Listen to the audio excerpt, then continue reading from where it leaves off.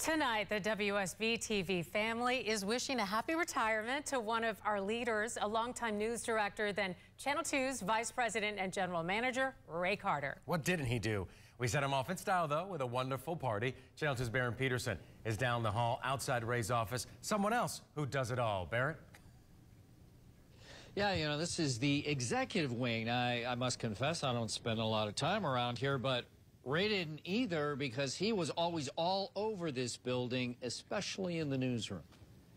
A man who needs no introduction deserves a great one. The man of the hour, too sweet to be sour. He has all the power.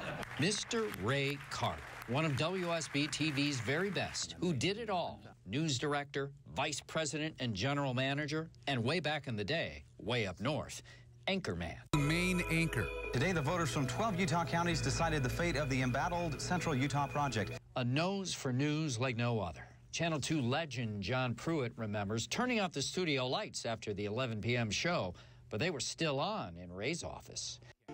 It was indicative of the kind of work ethic he had. An award-winning 40-year career has come to a close. The WSB family came together this day to wish him a happy retirement. I don't know how he is going to go cold turkey come Monday morning.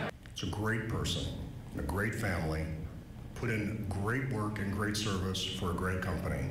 Which he leaves in good hands. I am deeply grateful for his mentorship Longtime Cox Media executive Marian Pittman has been named WSB president and will carry on the Channel 2 tradition of service, a tradition Ray Carter upheld.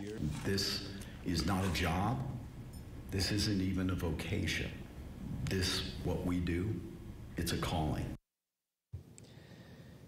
And it turns out Mr. Carter has a second calling. He and his wife are off to lead the California Modesto mission of the Church of Jesus Christ of Latter-day Saints. So Ray's going to go from reporting the news to reporting the good news of the gospel.